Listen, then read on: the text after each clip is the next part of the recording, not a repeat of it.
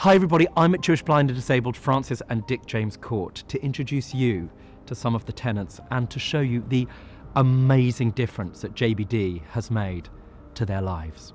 Being diagnosed with multiple sclerosis in his 40s hit Neil hard.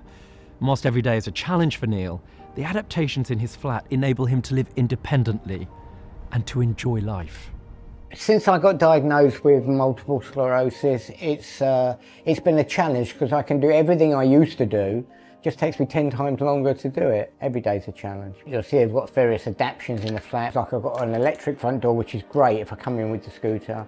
This is my lifeline, the scooter. Most of the place, the flat is autonomous, so I've got electric blinds, electric windows.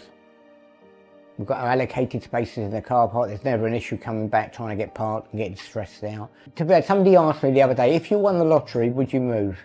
And ironically, I wouldn't because what do I need? I've got everything I need here. So I'm blessed.